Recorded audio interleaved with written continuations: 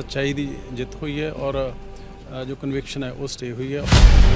PIL ਪਾਈ ਸੀਗੀ ਕਿ ਜਦੋਂ ਤੱਕ ਕਨਵਿਕਸ਼ਨ ਨਹੀਂ ਸਟੇ ਹੋ ਜਾਂਦੀ ਹੈਗੀ, ਉਦੋਂ ਤੱਕ ਫਲੈਗ ਹੋਸਟ ਨਹੀਂ ਕਰ ਸਕਦੇ ਹੈਗੇ। ਹੁਣ ਜਦੋਂ ਅੱਜ ਕਨਵਿਕਸ਼ਨ ਸਟੇ ਹੋ ਗਈ ਤੇ ਆਟੋਮੈਟਿਕਲੀ ਉਹ ਜਿਹੜੀ ਪੀਆਈਐਲ ਹੈ ਉੱਥੇ ਹਾਈ ਕੋਰਟ ਦੇ ਵਿੱਚ, ਉਹ ਵੀ ਇਨਫੈਕਚੁਅਸ ਹੈ ਜਿਹੜੀ ਹੋ ਚੁੱਕੀ ਪੰਜਾਬ ਸਰਕਾਰ ਦੇ ਕੈਬਨਿਟ ਮੰਤਰੀ ਅਮਨ ਅਰੋੜਾ ਨੂੰ ਸੰਗਰੂਰ ਜ਼ਿਲ੍ਹਾ ਅਦਾਲਤ ਤੋਂ ਵੱਡੀ ਰਾਹਤ ਮਿਲ ਗਈ ਹੈ। ਅਦਾਲਤ ਨੇ 15 ਸਾਲ ਪੁਰਾਣੇ ਪਰਿਵਾਰਕ ਮਾਮਲੇ 'ਚ ਉਹਨਾਂ ਦੀ 2 ਸਾਲ ਦੀ ਸਜ਼ਾ ਨੂੰ ਮੁਅੱਤਲ ਕੀਤਾ ਹੈ 31 ਜਨਵਰੀ ਤੱਕ। ਅਜਿਹੇ 'ਚ ਸਪਸ਼ਟ ਹੋ ਗਿਆ ਕਿ ਹੁਣ ਉਹ 26 ਜਨਵਰੀ ਨੂੰ ਗਣਰਾਜ ਦਿਹਾੜੇ ਮੌਕੇ ਅੰਮ੍ਰਿਤਸਰ ਦੇ ਵਿੱਚ ਤਿਰੰਗਾ ਲਹਿਰਾ ਸਕਣਗੇ। ਦੂਜੇ ਪਾਸੇ ਇਸ ਮਾਮਲੇ ਦੀ ਸੁਣਵਾਈ ਅੱਜ ਪੰਜਾਬ ਹਰਿਆਣਾ ਹਾਈ ਕੋਰਟ ਦੇ ਵਿੱਚ ਵੀ ਹੋਣੀ ਹੈ, ਜਿੱਥੇ ਸਰਕਾਰ ਵੱਲੋਂ ਸੰਗਰੂਰ ਅਦਾਲਤ ਦੇ ਫੈਸਲੇ ਦੀ ਕਾਪੀ ਹਾਈ ਕੋਰਟ ਨੂੰ ਸੌਂਪੀ ਜਾਏਗੀ। ਬੁੱਧਵਾਰ ਨੂੰ ਸੰਗਰੂਰ ਜ਼ਿਲ੍ਹਾ ਅਦਾਲਤ ਵਿੱਚ ਮੰਤਰੀ ਅਮਨ ਅਰੋੜਾ ਨਾਲ ਸੰਬੰਧਿਤ ਕੇਸ ਦੀ ਸੁਣਵਾਈ ਹੋਈ।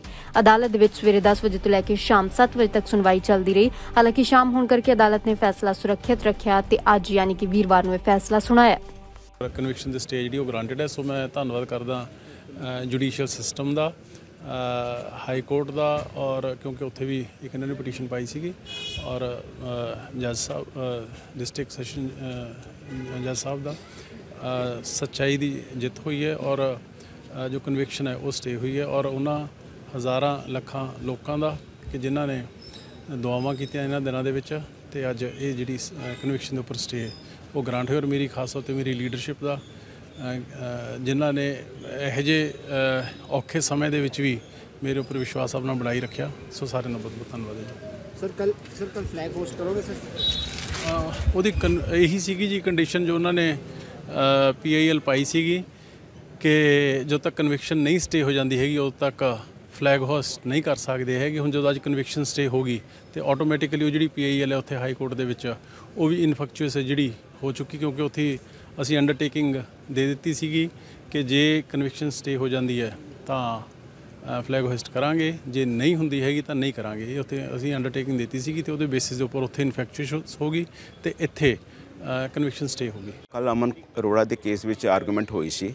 Shri R S Cheema senior counsel argue counsel ਸੀ।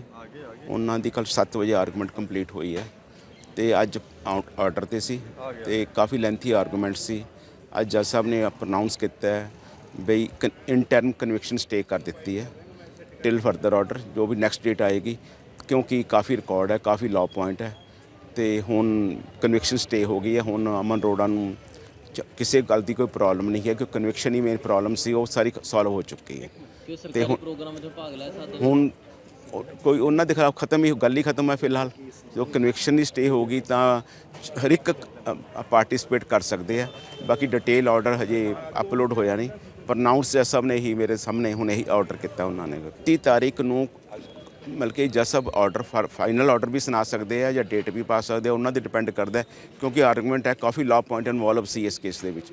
ਤੇ ਇਸ ਕਰਕੇ ਉਹ, ਇਸੇ ਕਰਕੇ ਜੱਜ ਸਾਹਿਬ ਕਹਿੰਦੇ ਵੀ ਇਨ ਟਾਈਮ ਇਨ ਦਾ ਕਿਉਂ ਅਦਰਵਾਈਜ਼ ਪ੍ਰਾਈਮਾ ਫਸ਼ਾਈ ਕੇਸ ਉਹਨਾਂ ਨੇ ਠੀਕ ਸਮਝਿਆ ਹੋਣਾ ਤਾਂ ਹੀ ਇਨ ਟਰਮ ਕੀਤੀ ਹੈ। ਤੇ ਬਾਕੀ ਲਾਅ ਪੁਆਇੰਟ ਇਨਵੋਲਵ ਹੈ, ਉਹ 31 ਨੂੰ ਪਤਾ ਲੱਗੇਗਾ ਕੀ ਹੈ। ਪਰ ਫਿਲਹਾਲ 31 ਹੋ ਗਈ। ਅੱਜ ਹੁਣ ਰਮਨ ਰੋੜਾ ਜੀ ਨੂੰ ਕਿਸੇ ਗੱਲ ਦੀ ਕੋਈ ਪ੍ਰੋਬਲਮ ਨਹੀਂ। 30 ਤਰੀਕ ਤੱਕ ਉਹਦਾ ਜਿਹੜਾ ਹੈਗਾ ਉਹਨੂੰ ਰੱਖ ਦਿੱਤਾ 31 ਤਰੀਕ ਨੂੰ ਫਾਈਨਲ ਫੈਸਲਾ। ਤੇ ਇਹਦਾ ਮੇਨ ਟਾਈਮ ਜਿਹੜੀ ਹੈਗੀ ਕਨਵੈਕਸ਼ਨ ਸਟੇ ਕਰਤੀ ਹੈਗੀ।